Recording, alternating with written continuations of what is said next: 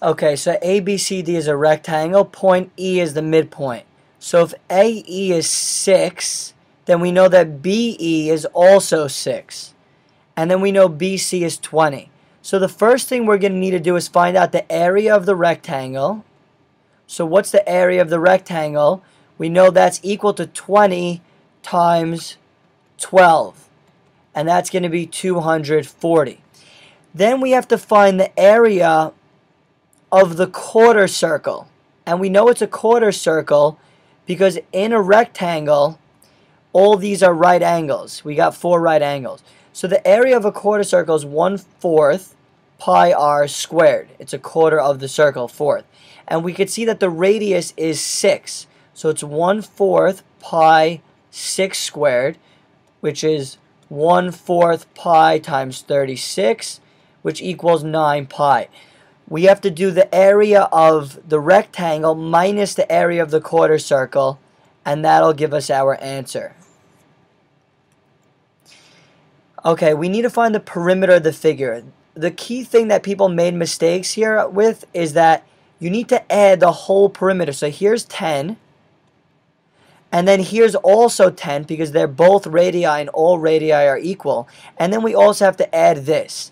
Now this part here is a circumference.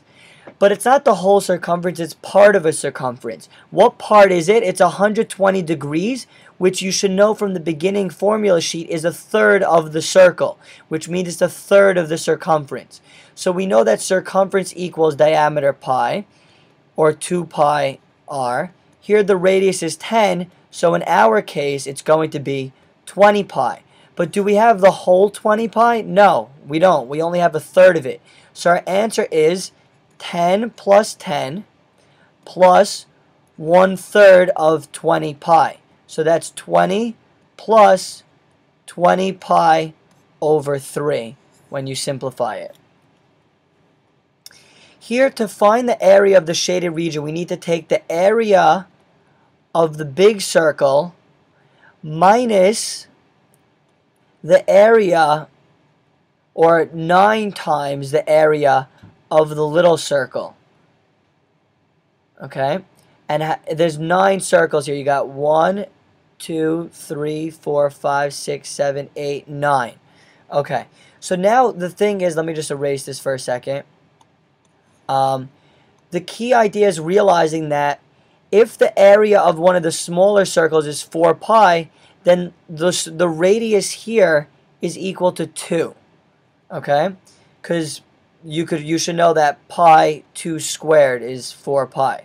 So that's I'll call that the little r. The little r is 2.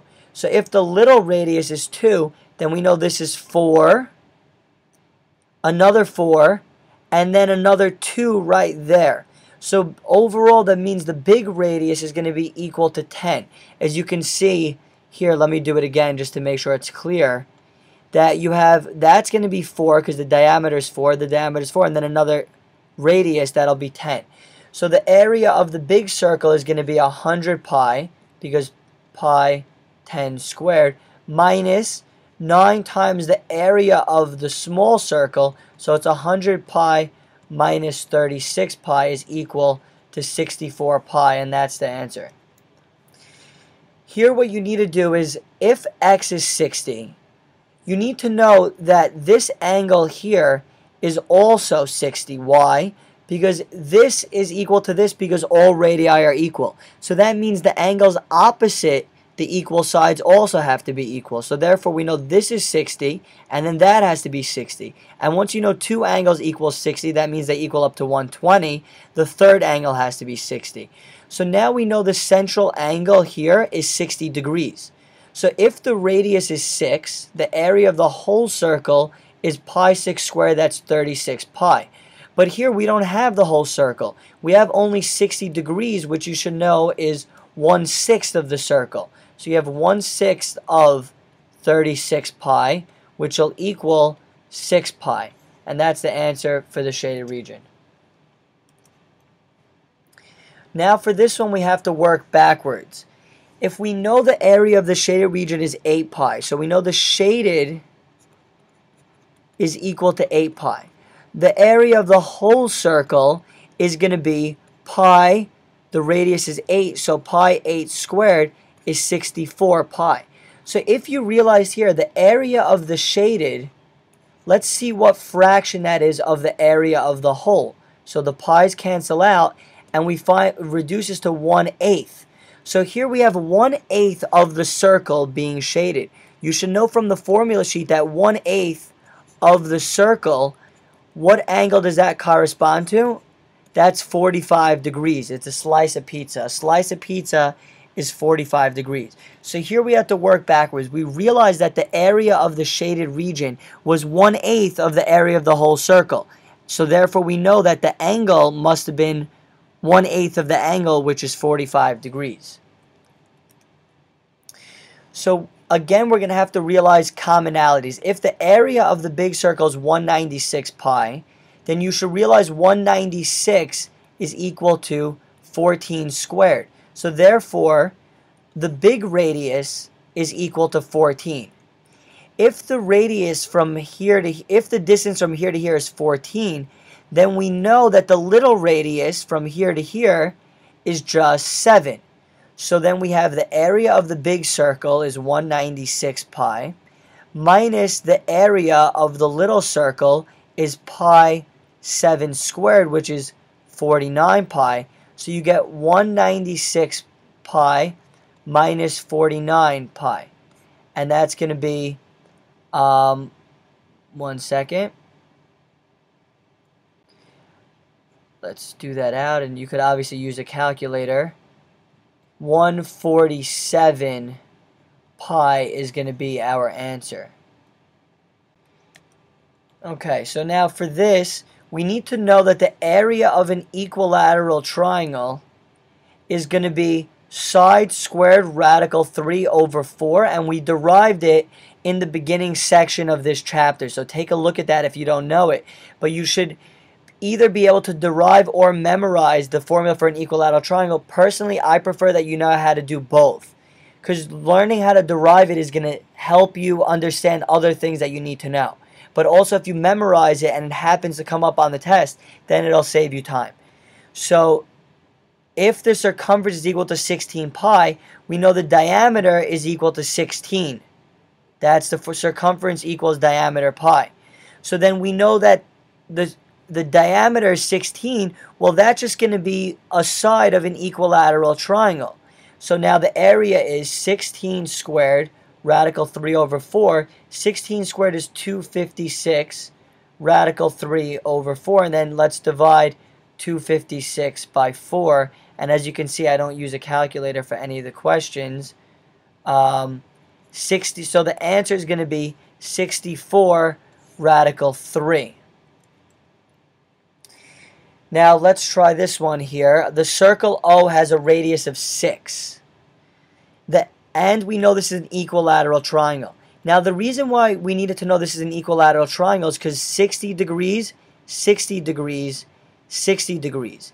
So the area of the whole circle would be pi 6 squared is 36 pi. But do we have the whole circle? No. We're missing this slice of the circle, which is 1 sixth of 36 pi, which would equal 6 pi. So the whole circle would be 36 pi, but we're missing 6 pi. So 36 pi minus 6 pi equals 30 pi.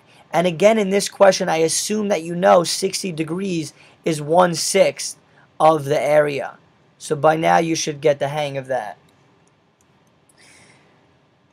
Here, the side length of the square is 4, so that means all the sides are 4. We need to find the diagonal here, and you'll see why in a second. We know that if two sides are equal in a right triangle, then the third side has to be side radical 2.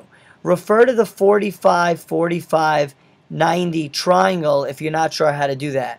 So now we could see here that if we take half of this here, the blue is going to be 2 radical 2. Because if the red here is 4 radical 2, that's the diameter, then the radius is just half of that.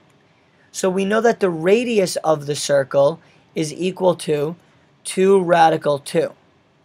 So now what's the area? The area is 2 radical 2 squared times pi, which when you put that on the calculator, you get four, you're going to get 8 pi. Let me just recap quickly what I did.